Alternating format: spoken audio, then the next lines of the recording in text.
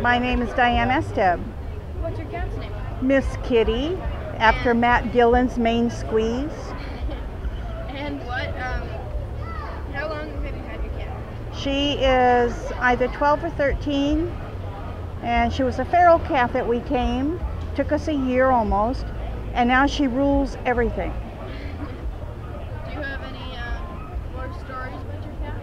You know, the kitty temptations, that's what brought this whole thing on, the treat. My cat ate what she killed and her food in her dish and nothing else. And then my grandson was going to give her some of these treats.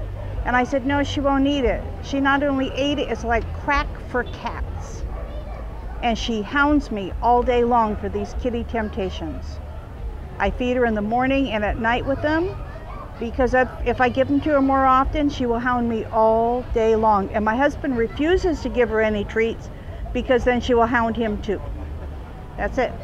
So how do you go about taming a feral cat? Oh, well, you feed her way, way back.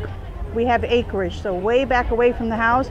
And I kept moving the food up over months' time. And then when I got it to the deck, she, she would watch the deck and I'd put the food out and she'd wait till I come in the house and shut the door before she'd carefully come up on the deck to get the food. And eventually she was coming on the deck when I was still on it. And then she finally let me pet her. Probably, that was October, we started seeing her early spring on our property. So, um, and after that, we lured her into the house in January. We found out she doesn't like the cold.